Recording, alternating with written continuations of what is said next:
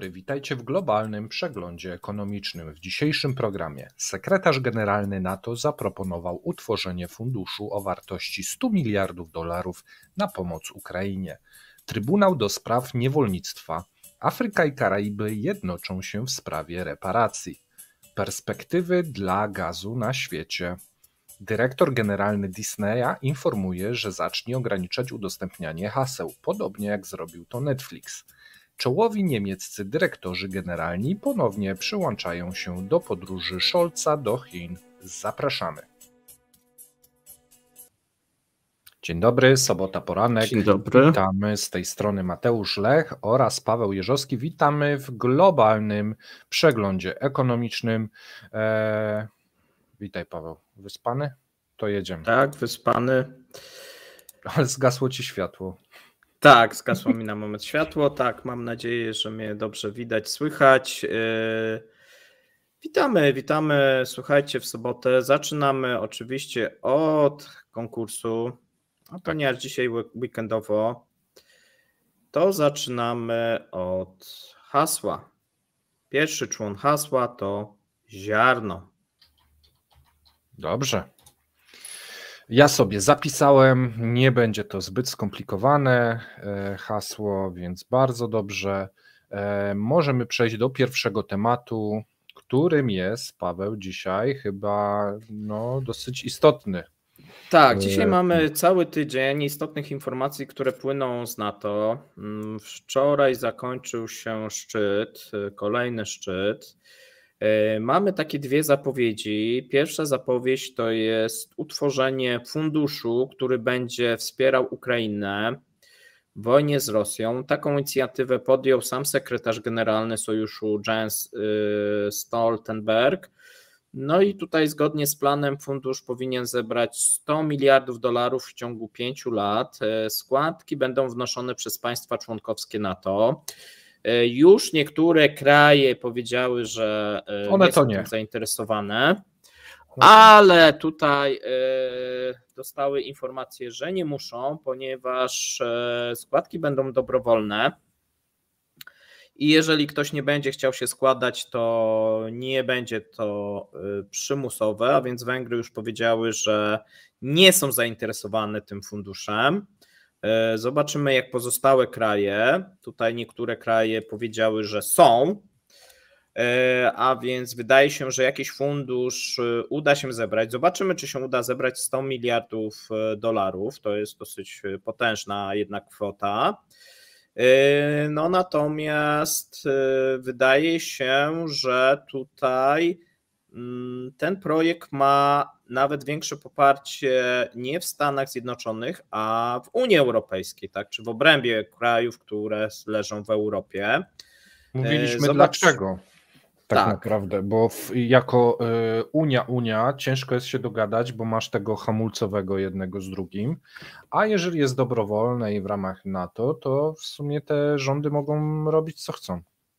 No, trochę tak, trochę też e, nie, natomiast y, Y, tutaj y, oficjalnie trwają, mm, tak naprawdę teraz trwały takie przygotowania do tego projektu. Oficjalnie jego utworzenie ma zostać ogłoszone, słuchajcie, na szczycie, kolejnym szczycie NATO, 9-11 listopada w Waszyngtonie.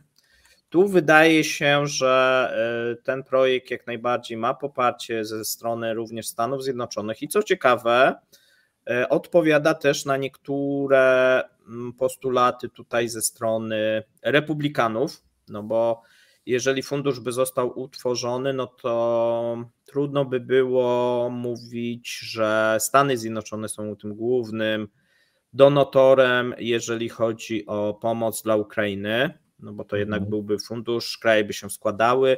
Te zakupy broni by odbywały się i zarówno w Europie, jak i w Stanach Zjednoczonych, jak i również poza tymi e, państwami. No i te wszystkie takie dotychczas e, pojedyncze inicjatywy krajów zostałyby zebrane, można powiedzieć, w jeden fundusz, no więc to ma pewne plusy.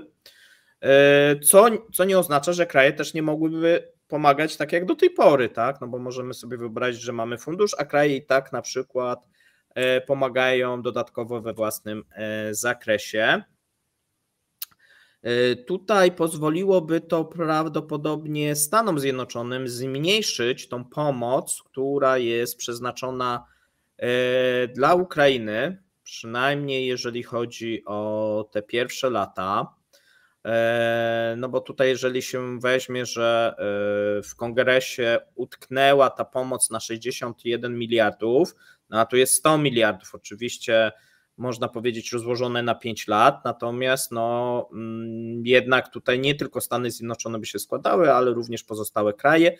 To nie wyklucza tej oczywiście pomocy, która obecnie już trafiła, czy będzie trafiać, nie wyklucza też pomocy tej mm, europejskiej, czyli tego funduszu na 50 miliardów, bo tam ten fundusz mógłby być stricte wtedy skierowany na odbudowę Ukrainy, tak jak chciały Węgry, no bo Węgry mówią, że one się zgadzają, ale na odbudowę Ukrainy, e, a nie na cele wojskowe. No i teraz mogłoby się okazać, mamy dwa fundusze, jeden na to na cele wojskowe, drugi na odbudowę Ukrainy. No i e, teraz tak, żebyśmy to usystematyzowali. E, teoretycznie mhm. Amerykanie mogą przegłosować do tego listopada te 60 miliardów, a tu tak. będzie kolejny plus 50 tak, i by, tak, Więc tak, tu tak. zasypią kasą Ukrainę, bo to będzie już 200 miliardów. A czy wiesz, jak w życiu bywa, coś pewnie mhm. nie wyjdzie, a więc z tym zasypywaniem tak. to ja bym się nie spieszył, e, bo jakaś, jakoś do tej pory Ukraina nie jest zasypywana tą kasą. Mhm. No bo robi się wszystko, żeby się nie udało, nie? No, no tak, no tutaj oczywiście są, działają. Są tak niektóre kraje, które rzucają tak e, te kłody mhm. i, i sypią ten, tym piaskiem. Natomiast no to właśnie utrudnia, tak, no bo w tym momencie ten fundusz 50 miliardowy, który już jest uchwalony, byłoby łatwiej przekazywać. Dodatkowy fundusz byłoby łatwiej. Łatwiej byłoby też e, przekonać do ustęp w stosunku do republikanów e, administracji Bidena i również Ukraińców, czyli zwiększyć tą część pożyczkową Mm, mhm. jeżeli chodzi o tą pomoc amerykańską, bo mówi się, że od dwóch tygodni toczą się cały czas negocjacje e, z, Mike, z Mike'em Johnsonem. Co prawda, ostatnio mówi się, że być może się to wydłuży, natomiast no, dosyć dużo mm, ustępstw e, ze strony administracji Bidena już podjęto, żeby jednak przegłosować ten pakiet. Jeżeli by się to nie udało, no to czeka, podejrzewam, Stany Zjednoczone totalny paraliż już do wyborów. Natomiast wydaje się, że są duże szanse, że się uda, szczególnie, że tam, tak jak mówiliśmy już e, wczoraj z Wojtkiem, czy we wcześniejszych naszych cepach, pojawia, pojawia się ta Louisiana i odmrożenie tych projektów LNG w ramach różnego rodzaju tych deali, które miałyby być w zamian e, za pomoc. A pamiętajmy jeszcze jedną rzecz. E, Izrael potrzebuje pomocy, bo o tym wszyscy też zapominają, się koncentrują tylko na tej Ukrainie. Mhm. A wiemy, że nieoficjalnie poszła ta pomoc, e, no i trzeba by to jednak zacząć e, wysyłać drogą oficjalną w stosunku do Izraela, mm, szczególnie, że tam sytuacja w każdej chwili może eskalować i ten Izrael będzie potrzebował tej pomocy, a za moment będzie coraz trudniej uchwalić tą pomoc dla Izraela już ze względów właśnie wizerunkowych, bo tak. Bidenowi tak. będzie coraz trudniej obronić pomoc dla Izraela przed swoimi e, wyborcami. Napięcia już, już są na linii amerykańsko-izraelskiej, już e, ostre słowa Bidena. No dobrze, zobaczymy. Trzymamy kciuki, żeby w końcu któraś z tych pomocy została klepnięta i żeby to nie, nie było blokowane w nieskończoność. A jeżeli chodzi o rzeczy, które przeciągają się w nieskończoność, to ja bym chciał e, poruszyć Trybunał do spraw niewolnictwa. Afryka i Karaiby jednoczą się w sprawie reparacji. Wśród narodów Afryki i Karaibów rośnie poparcie dla utworzenia Międzynarodowego Trybunału do spraw okrucieństw związanych z transatlantyckim handlem z niewolonymi ludźmi, przy czym Stany Zjednoczone wspierają panel ONZ w centrum tych wysiłków. W ubiegłym roku zaproponowano utworzenie trybunału wzorowanego na innych sądach, takich jak procesy norymberskie, prowadzone przeciwko nazistowskim zbrodniarzom wojennym po II wojnie światowej. Jak wynika z wywiadów z kilkunastoma osobami, zyskał on obecnie popularność w ramach szerszego ruchu na rzecz odszkodowań za niewolnictwo. Mm, nie określono zakresu działania e, żadnego trybunału, ale Forum ONZ zaleciło we wstępnym raporcie, aby zajął się on kwestiami odszkodowań za niewolnictwo, apartheid, ludobójstwo i kolonializm. Specjalny trybunał, trybunał ONZ mógłby pomóc w ustaleniu norm prawnych dla złożonych międzynarodowych i historycznych roszczeń odszkodowawczych, twierdzą jego zwolennicy. Tu cię Paweł wyciszę, bo szura. Mm, I już sobie kontynuuję. E, istnieją ogromne przeszkody prawne, natomiast na razie stwierdził Martin Okumu Masiga, sekretarz generalny Afrykańskiego Forum Sędziów i Prawników, e, które udziela ONZ-owi porad dotyczących odszkodowań. E, przeszkody sobie zostawimy, natomiast ja chciałem tylko Wam wymienić, e, kto najwięcej zyskiwał historycznie na handlu niewolnikami. E, Wielka Brytania przez ponad dwa wieki, od XVII do XIX wieku, była dominującą siłą w transatlantyckim handlu niewolnikami. Szacuje się, że przetransportowała ona około 3,5 miliona Afrykańczyków do niewoli w Ameryce. Handel ten przyniósł ogromne zyski brytyjskim kupcom, właścicielom plantacji i przemysłowi. E, Portugalia była zaangażowana w handel niewolnikami jeszcze dłużej niż Wielka Brytania, od XV do XIX wieku. Szacuje się, że przetransportowała ona nawet 4,5 miliona Afrykańczyków do niewoli, głównie do Brazylii. Handel niewolnikami odegrał znaczącą rolę w rozwoju, w rozwoju gospodarki portugalskiej. E, Francja również była znaczącym graczem e, transatlantyckiego handlu, e, transportując szacunkowo 1,2 miliona Afrykańczyków do niewoli w swoich koloniach. Hiszpania szacunkowo transportowała około pół miliona Afrykańczyków do niewoli w swoich koloniach w Ameryce. No i Stany Zjednoczone stały się e, niezależnym krajem, co prawda pod koniec XVII wieku, natomiast odegrały one znaczącą rolę w transatlantyckim handlu niewolnikami.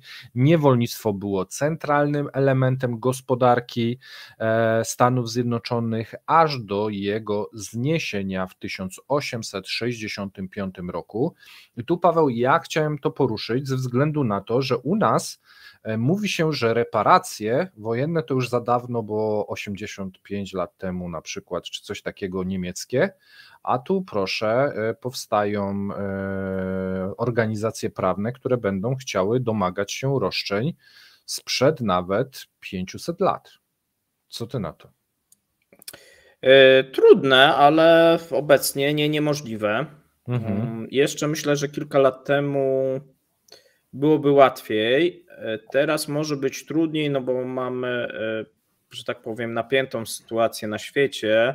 Mhm. I kraje, jeżeli miałyby jeszcze płacić reparacje, pomagać właśnie Ukrainie, pomagać w następnym konflikcie, mogłoby być ciężkie, natomiast e, być może ten temat wróci za jakiś czas. Tak? Ja, ja jestem zdania, że nie w takich sytuacjach ludobójstwa, niewolnictwa, e, zagłady nie powinno być nigdy przedawnienia i każdy kraj, który się e, tego podejmował, powinien reparacje wypłacić. Takie jest moje zdanie, z tego względu, że historia później się powtarza bo te kraje pozostają bardzo często bezkarne. No i niestety mamy kolejne konflikty, kolejne konflikty, takie jak na przykład e, Rosja w Ukrainie.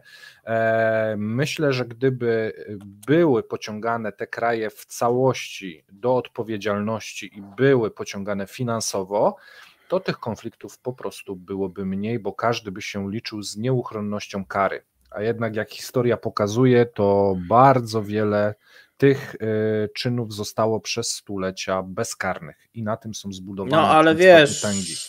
Tak naprawdę wszystkie potęgi, jeżeli się bliżej przyjrzysz, to są zbudowane na nieszczęściu, cierpieniu. To właśnie... wszędzie znajdziesz nieszczęście, tak. E, albo rdzennej ludności, albo w koloniach. No jeżeli weźmiemy większość krajów europejskich, to znajdziesz Stany Zjednoczone, tak, tak. Rosja.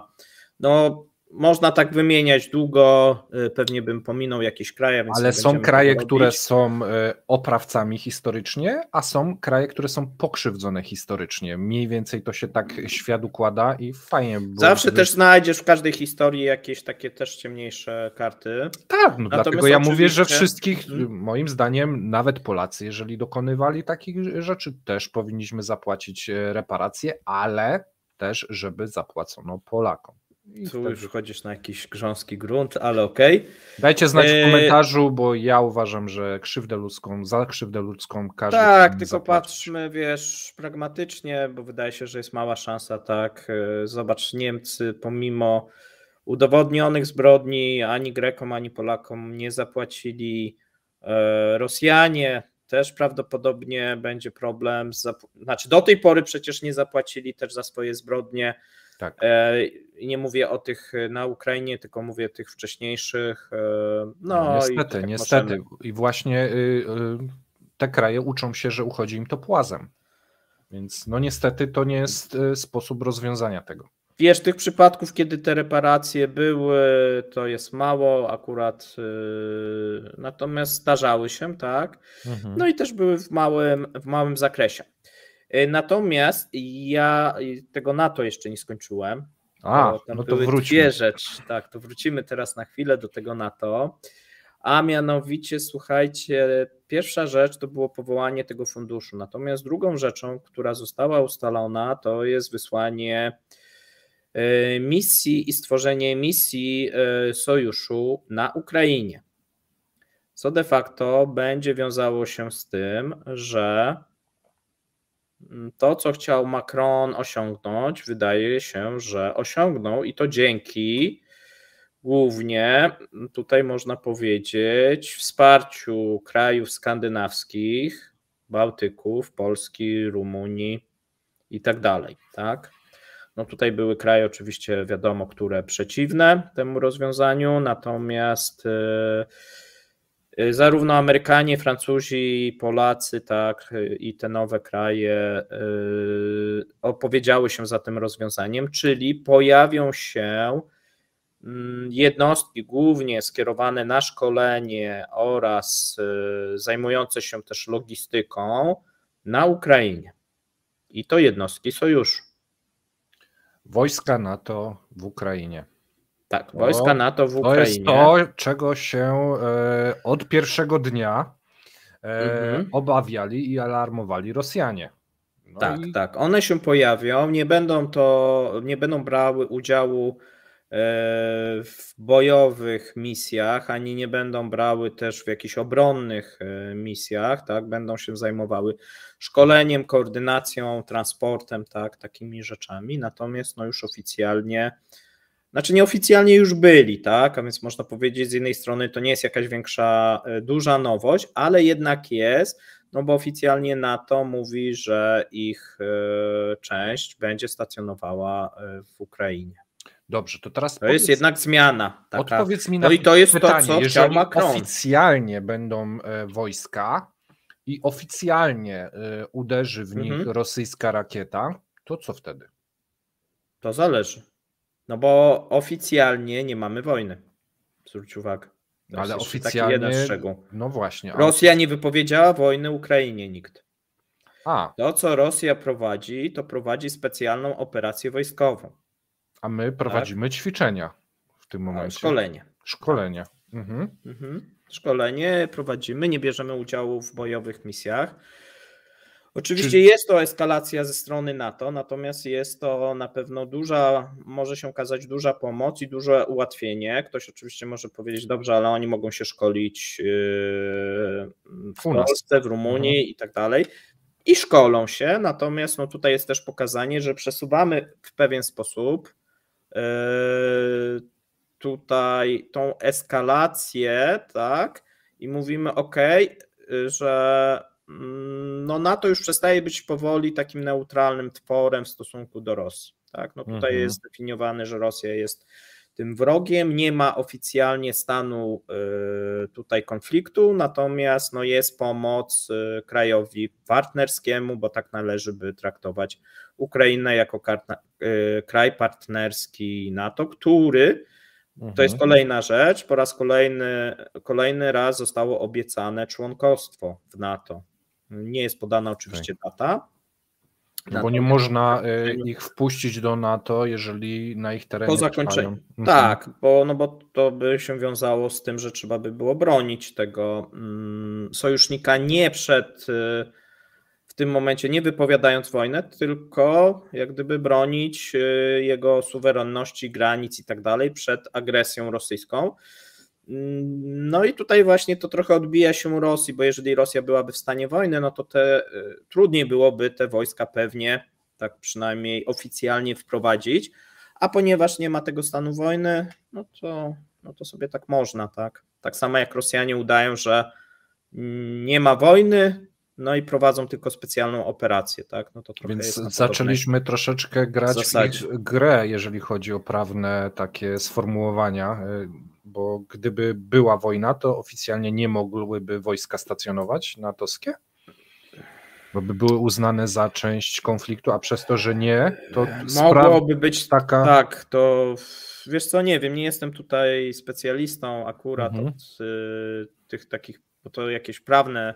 Tu pewnie jest jakiś niuans prawny, który został w tym momencie wykorzystany. Nie? Natomiast wydaje mi się, że byłoby o wiele trudniej też. No i oczywiście inaczej byłoby to, inaczej mogłoby zostać to odebrane, tak, też przez mhm. tą mhm. stronę rosyjską.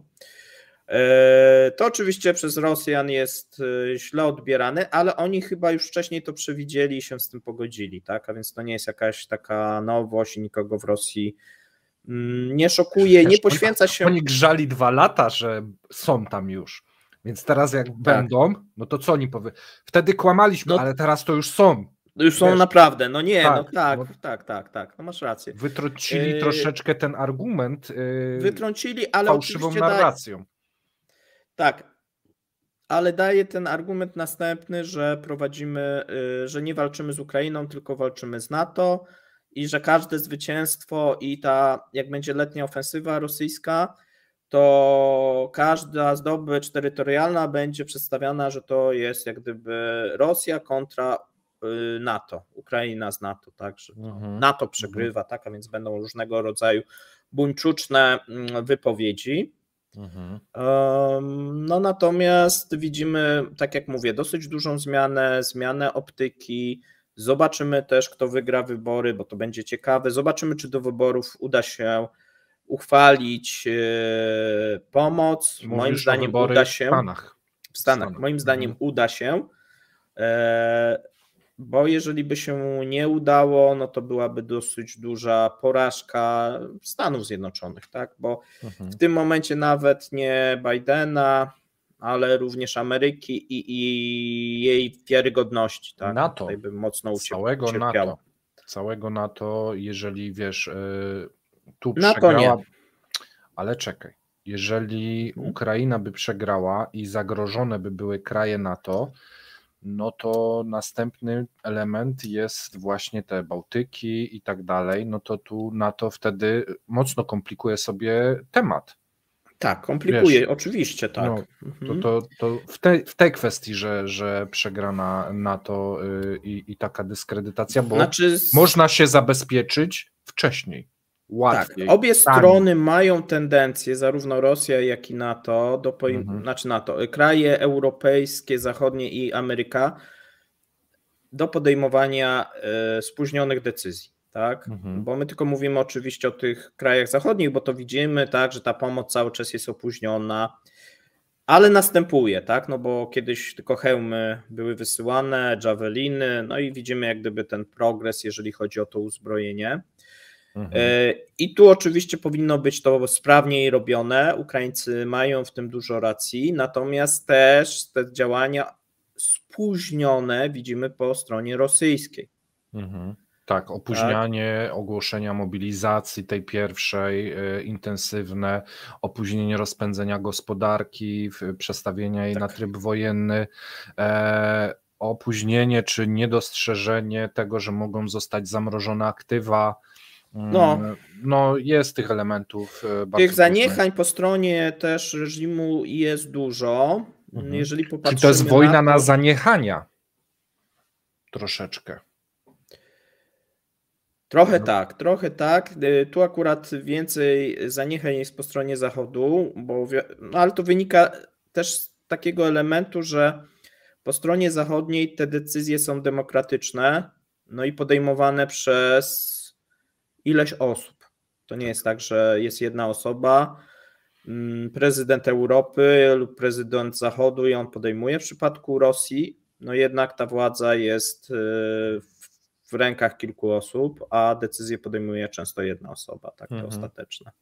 Okej. Okay. No, no więc to, zrobiliśmy... stąd też wynikają, myślę, te różnice. Natomiast zaniechania też są po stronie rosyjskiej. Ja też nie chcę mówić o tych wojskowych, bo jest ich dużo i pewne decyzje widać, że są spóźnione. Już teraz też widać, że pewnych rzeczy Rosjanie nie robią, nie będę mówił jakich, y, ale pewnie za pół roku się to pojawi. Tak, i będzie okay. to znowuż spóźnione działanie. No, nawet ta rozbudowa dronów, tak, zobacz, y, jakie tutaj Rosjanie mają zapóźnienie, jak próbują y, nadganiać ten stracony jednak czas i jak mhm. idzie im ciężko. Tak, e, czy też rozwój obrony przeciwlotniczej, żeby chronić na przykład na rafinerię. To też. Lotniska. Lotniska. To gorzej. Rafinerie, tak. Lotniska są niebronione. Wiele rzeczy w Rosji jest niebronionych, tak. To już. Tak. Ale dzisiaj mam nie będzie o Rosji. Przechodzimy sobie, słuchajcie, do następnego punktu. Ty masz na temat Netflixa. Ale ty masz na temat gazu. To... to gaz będzie później, a najpierw pójdzie Netflix. Ja chciałem zapytać, czy tu chodzi o ograniczenie udostępniania kont, bodajże mhm. haseł i tego nie rozumiem, bo mhm. do tej pory Netflix y, ograniczał udostępnianie kont. Więc raczej chyba o to chodzi. Yy, tak, tak. Bardziej, bardziej to jest właśnie na zasadzie, że zacznie udostępnianie kont, e, współdzielenia kont e, mhm. i tego typu sprawa. Usługa przesyłania strumieniowego Walta Disneya otwiera nową kartę. Od czerwca zacznie zwalczać udostępnianie kont, powiedział w czwartek dyrektor generalny Bob Iger, ponieważ konglomerat rozrywkowy chce zwiększyć wzrost liczby abonentów i rentowność firmy. Iger, Iger powiedział również, że istnieje potrzeba pewnej konsolidacji w branży streamingu. No i tu ja się zgadzam, jest kilka platform, a jednak dobrych produkcji jest jak na lekarstwo, natomiast każda platforma wypuszcza taśmowo mnóstwo kontentu, aby sprawić wrażenie przepełnionej, w rezultacie wszędzie mamy do czynienia z przeważającą papką.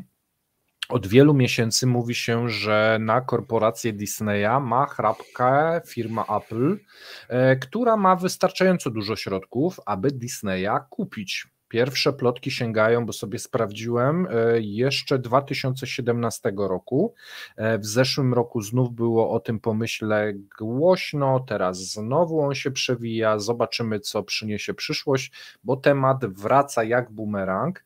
No i jeżeli chodzi o konsolidację, no to może właśnie Disney jako wielka korporacja zostanie wchłonięta przez jeszcze większą korporację i będziemy mieli e, takie połączenie. Natomiast jeżeli ktoś z Was korzysta z kilku platform e, lub dzieli sobie konta, no to tak jak z Netflixem, tak teraz z Disneyem, chyba będzie to mm, zawężane i próba będzie tego wyeliminowania. Taki news. Znaczy, ten Disney byłby drogi, no bo oni ostatnio robili przecież fuzję, więc to y, już jest mega korporacja. Nie wiem, która jest Disney z Hulu chyba robił. Czy o z Warner Brosem. No A, tak no tak, kupowane no. były Marvele, nie Marvele, ale mimo wszystko Apple no, ma jeszcze TVN-y, więcej. nie TVN-y. Tak, tak nie, Apple ma jeszcze więcej e, kasy, żeby kupić wszystko naraz. Tak z, z ruchu. Więc to, to, to są niesamowite e, kwoty. Jakie nie no, mamy kilka, tak. Mamy kilka, tak, właśnie tworzą się, tak. Te, takie mhm. jeden właśnie wokół tego Disneya, drugi wokół tutaj e, właśnie właściciela mm, TVN-u, tak, i No zobaczymy, zobaczymy jak to będzie wyglądać. No cóż, z jednej strony im mniej tych streamingowych, no to jest mniejsza konkurencja. Z drugiej strony, mm, jeżeli chcesz jakiś dobry content, to często musisz subskrybować kilka tak. tych, no a to kosztuje, tak? Więc nie wiadomo, co tutaj jest lepsze. Monopol na pewno nie jest wskazany, natomiast no ilość tych. E, ja myślę, że docelowo będą ze, dużych. ze trzech e, takich. Tak, wydaje się, gigantów. że takiego miejsca nie ma na taką ilość mhm. platform tych e, strumieniowych. Tak, tak Dajcie 3, znać w komentarzach, jakie macie, co oglądacie i co polecacie w razie czego w komentarzach. Mhm. A teraz opowiedz. A my sobie teraz tak, my sobie przejdziemy do gazu. Słuchajcie, bo mamy w tym momencie informacje na temat perspektyw gazu. Tutaj mamy prognozy Focus Economics. Ja dam krótki komentarz do tych prognoz. E, tutaj e, firma analityczna przewiduje, że ceny gazu w Europie i Azji spadną w tym roku, natomiast w Stanach Zjednoczonych pozostaną na zbliżonym poziomie do 2020 2023 roku, ale poniżej poziomu sprzed pandemii, tak wynika właśnie z danych y, firmy. Y, no i co tutaj się wskazuje, jakie powody niskich cen gazów i być może dalszych obniżek tych cen, jeżeli chodzi o Europę i, i Azję, no to spadek popytu, szczególnie jeżeli chodzi o zimę, która się kończy, E, czy już się nawet skończyła w wielu miejscach, bo mamy kwiecień. E, no i to wskazywało, wskazuje się właśnie, że te ceny już tak naprawdę od lutego były obniżone. Mhm. Również jak, jako ten element wskazuje się słabą produkcję przemysłową cały czas w strefie euro oraz i to u nas jest chyba nieporuszane, przechodzenie na energię jądrową w Japonii i Korei Południowej, tak? Bo my się o, koncentrujemy tak, oczywiście na Europie, natomiast jeżeli chodzi o te naturalne kierunki azjatyckie dla gazu skoroplonego, no to widzieliśmy, że w 2024 e, no prawdopodobnie Azja nie będzie brała tyle, ile się jeszcze w zeszłym roku wydawało, dochodzą oczywiście te problemy i niejasna sytuacja gospodarki chińskiej. To jest chyba taka największa, mhm. największa zagadka dla analityków, szczególnie jeżeli chodzi o te surowce i szczególnie jeżeli chodzi o gaz. Natomiast analitycy przewidują, że ceny mogą zacząć rosnąć dopiero w 2025 roku.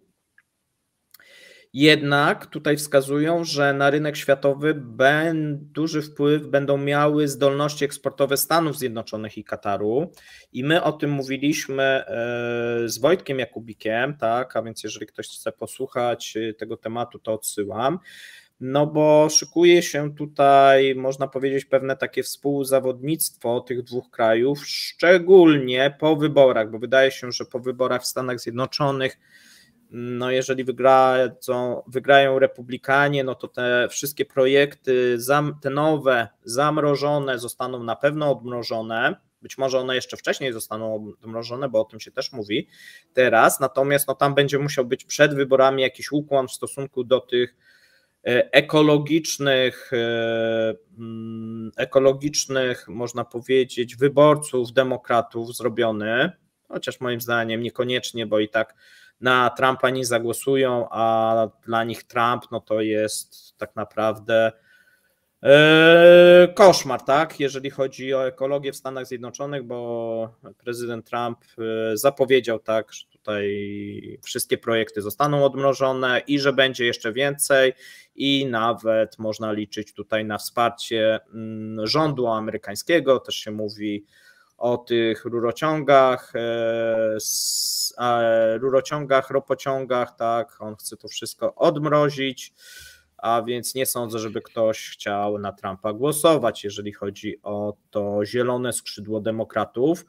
Natomiast obecnie w Stanach Zjednoczonych ceny gazu ziemnego znajdują się pod presją wysokich zapasów, o tym też się mówi. My mówimy o tych zapasach europejskich, że tutaj jest rekord, natomiast e, no, równie dobrze mm, wygląda sytuacja w Stanach Zjednoczonych, bo mamy, słuchajcie, plus 31% w stosunku do średniej pięcioletniej, e, a także gwałtowny wzrost produkcji w ciągu ostatnich dwóch dekad. No tutaj, I to pomimo chodzi... tego, że y, zyskali całą Europę jako rynek. Bo to tak. trzeba pamiętać, że wcześniej nie byli w Europie tak mocno. Rosjanie tu dostarczali gaz, teraz w dużej części. A do Europy jeszcze przejdziemy, tak, tak, bo o Europie też jest dużo. Natomiast w ciągu ostatnich dwóch dekad, tak, y, dosyć duży wzrost, prawie ta produkcja się podwoiła. W przyszłym roku, zgodnie z, z przewidywaniami analityków, ceny zaczną rosnąć w kontekście właśnie no, pytanie, czy zaczną, bo to wszystko zależy od zdolności eksportowych tego gazu, jak to będzie wyglądać i kiedy, bo moim zdaniem nie jest pytanie, czy te, ten zakaz zostanie odmrożony, tylko pytanie jest kiedy on zostanie odmrożony, jeżeli chodzi o te nowe, mm, nowe projekty eksportowe, tak, szczególnie te z Luizjany. Mhm. E, no i jeżeli będą tutaj e, Zobaczymy, jak będzie w przyszłym roku. Natomiast no tutaj e, zakłada się, że mm, no jeżeli nie byłoby większej produkcji, no to pozbawi to rynek amerykański znacznej części no, tak dużych rezerw, które ma obecnie i pobudzi delikatnie ceny, mm, ale zakłada się również, że krajowa produkcja pomimo to będzie szybciej rosła niż konsumpcja właśnie e, ze względu na te kierunki eksportowe. E, I jeżeli się mówi o jakichś zmianach takich większych cen, to mówi się o początku roku 2025. W dalszej części roku spodziewana jest stabilizacja cen, szczególnie po roku 2025, ze względu na zwiększony popyt zewnętrzny i, wprowad- i pojawienie się dużej konkurencji Kataru, który do końca dekady może podwoić swoje możliwości eksportowe gazu, a więc e, no z jednej strony mamy sytuację, że ten eksport być może zostanie, tak jak mówię, w 2025 najpóźniej odmrożony, y, co spowoduje, że tego amerykańskiego rynku na eksport może trochę mm, więcej pójść, co może spowodować, że te zapasy się zmniejszą, ale z drugiej strony mamy Katar, który też będzie na tych rynkach światowych próbował konkurować. Natomiast nie, trzeba, nie można zapominać o tym, co się stanie w Europie, bo w Europie na początku marca zapełnienie europejskich magazynów było 17 y, punktów procentowych wyższe niż średnia pięcioletnia. Popyt był niższy ze względu na niemal rekordową ciepłą zimę i częściową wymianę odnawialnych źródeł energii oraz stagnację w sektorze przemysłowym. W przyszłym roku czyli 2025, e, no, analitycy twierdzą, że Unia Europejska całkowicie zrezygnuje z importu rosyjskiego gazu, mówimy o tym rurociągowym, w związku z zaprzestaniem tranzytu przez Ukrainę. No zobaczymy, coś tam pewnie jeszcze będzie do tych Węgier e, nieszczęsnych płynęło przez ten South Stream, no ale tutaj o tym nie piszą. Natomiast wskazują na jedną rzecz, i ona jest też bardzo ciekawa, o czym my zapominamy, że te sukcesy, jeżeli chodzi o magazyny europejskie, też oprócz tego, że jest amerykański gaz i też z innych kierunków, no to w ubiegłym roku popyt na gaz w Europie był o 18% niższy niż średnia znowuż pięcioletnia sprzed rozpoczęcia rosyjskiej inwazji na Ukrainę.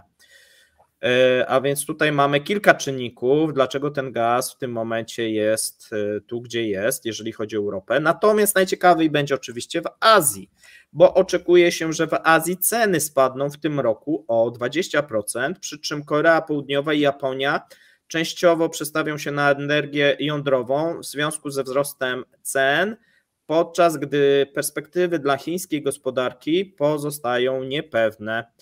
Od 2026 analitycy spodziewają się, że ceny gazu w Europie i Stanach Zjednoczonych ulegną konwergencji ze względu na zwiększoną możliwość eksportu LNG, czyli okay. zbliżeniu, tak? Konwergencja tak, tak. to jest e- zbliżenie tych cen. Powiedz mi, mhm. kto najwięcej ma elektrowni gazowych w Europie? Niemcy chyba. Nie, nie wiem, nie wiem, nie wiem, nie wiem, nie wiem. Wydaje mi się, że, że one stawiały. Trzeba by Wojtka chyba... zapytać, on na pewno by wiedział. Wydaje mi się, że e, one stawiały na gazowe elektrownie i w tym momencie może to jest dobry sygnał dla niemieckiej gospodarki. Bo, bo wiesz. Znaczy, oni budowa... cały czas budują. Tak jak rozmawialiśmy mhm. ostatnio z Olą, no mhm. to oni cały czas nie zaprzestali budowy tych, yy, tych gazowych. Natomiast no zobaczymy też, co będzie z tym Zielonym Ładem. Mamy wybory do mhm. Parlamentu Europejskiego. Zobaczymy, czy nadal będzie tak dobry wiatr dla tych odnawialnych źródeł. No bo tutaj coraz częściej się mówi, że te odnawialne źródła to jest napędzanie gospodarki chińskiej, tak? Mhm. I mhm. że tak powiem, jeżeli chodzi o pomoc klimatowi, to może się okazać, że wręcz szkodzimy, tak? No bo tutaj Chińczycy produkując te odnawialne źródła nie przejmują się żadnymi, mm, żadnymi normami.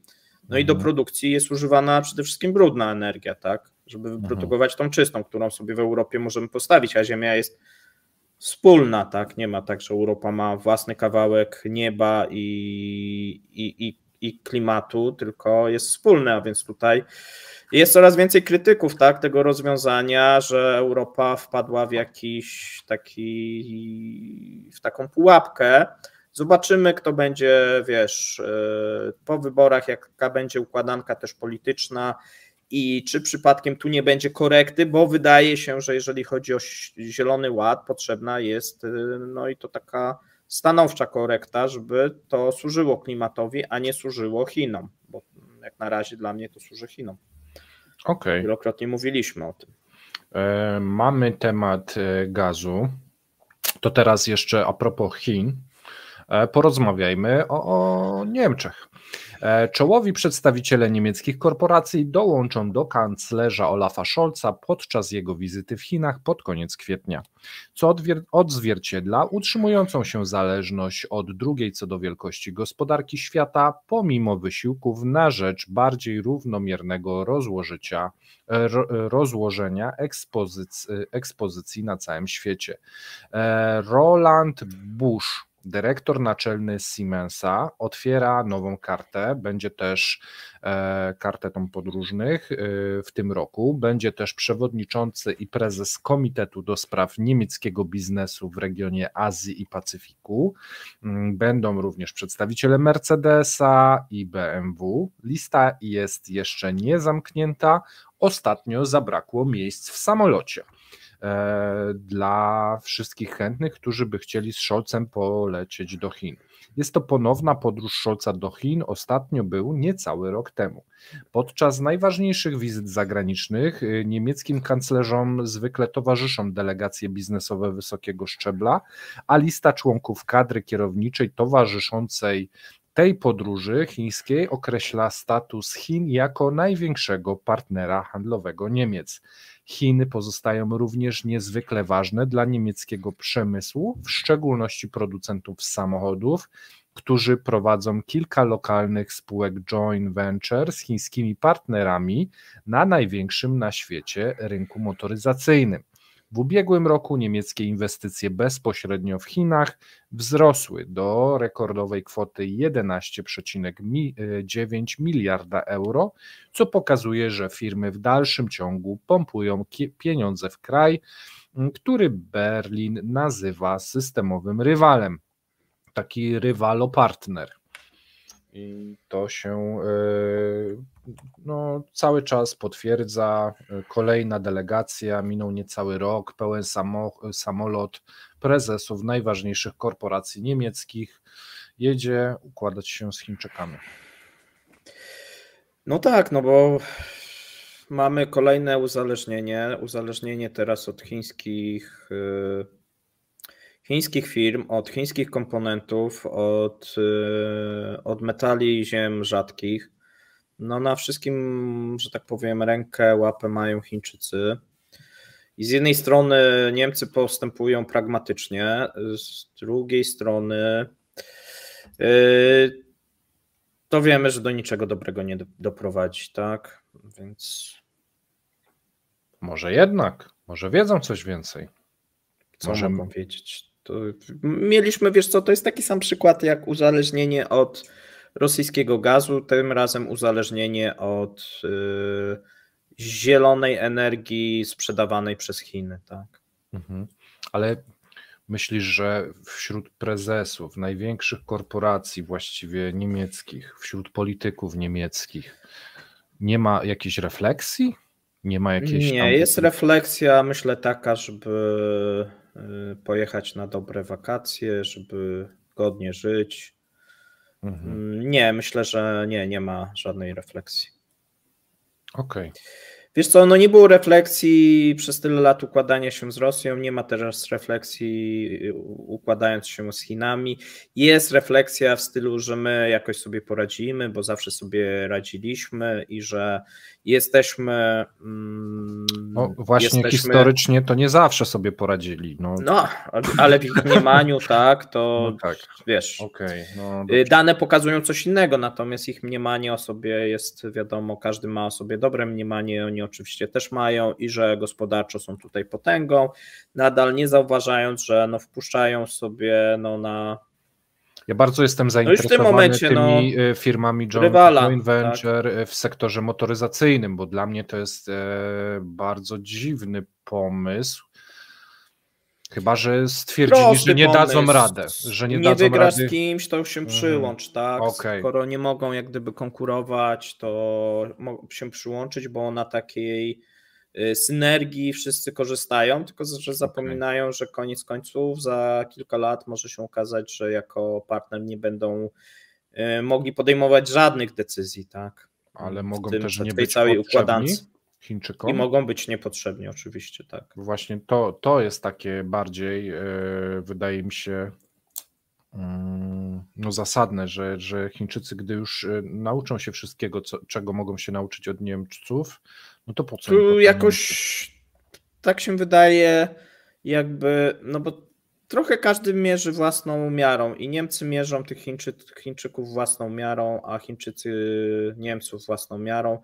I moim zdaniem w tej rozgrywce Niemcy są skazani na porażkę. Niestety okay. my jesteśmy częścią tej układanki i tutaj jeżeli nie będzie jakiegoś wpływu innych krajów na Unię Europejską, no to Niemcy doprowadzą do no do kolejnego uzależnienia, tym razem, zresztą ono już jest częściowo, tak, od chińskiej, chińskich producentów. Myślisz, że za 50 lat będziemy w strefie wpływów chińskich bardziej niż amerykańskich? Nie wiem. To, co będzie za 50 lat, mnie nie będzie. No czemu? Dobrze się trzymasz jeszcze. Może, może. A, a co będzie za 50 lat, w jakiej strefie, czy będą jakieś strefy, nie wiemy. Chiny mhm. też mają swoje problemy, tak? Bo tutaj też zakładamy pewien konstans, to jest jak gdyby taki dynamiczny wszystko jest układ, płynne. Tak, mhm. tak wszystko tak. jest płynne, tak, tu się wszystko zmienia, nie możemy zakładać, że za 50 lat y, to będzie wyglądać tak jak teraz i tylko na przykład, bo niektórzy to tak zakładają jak w tym Excelu, jak ten proces składany, składany że produkcja krajowa będzie Chinom rosnąć i rosnąć i rosnąć, żadne, żadnego kryzysu nie będą mieli i tak dalej, i tak dalej, nie? Przecież to I, tak nie będzie. Nie? I to jest, myślę, idealny moment, żeby podsumować. Wszystko jest płynne, Kremlinka płynie z nurtem e, tych wiadomości, dostosowujemy je, weryfikujemy, podajemy, a one się ciągle zmieniają. Więc jeżeli jeszcze nie subskrybujecie, to zapraszamy, aby e, przycisnąć ten przycisk i wtedy będziecie cały czas na, czacie, na czacie i na czasie gdyż wszystko e, się zmienia z tygodnia na tydzień i ci, którzy nas oglądają, to to wiedzą. A ja podaję teraz e, drugi człon hasła. E, rozsypało się. Komu? A to w przyszłym tygodniu się dowiecie. W przyszłym tygodniu trzymajcie się. Cześć. Cześć.